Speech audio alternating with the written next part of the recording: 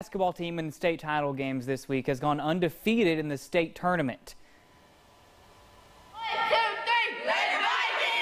three, that is one thing. Another is when you also go undefeated through the regular season and region tournament.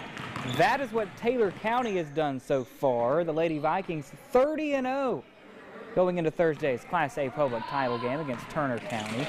Coach Matt Troutman has been at the school for 36 years. He's been a part of five state titles, but the girls have not won it all since 2003.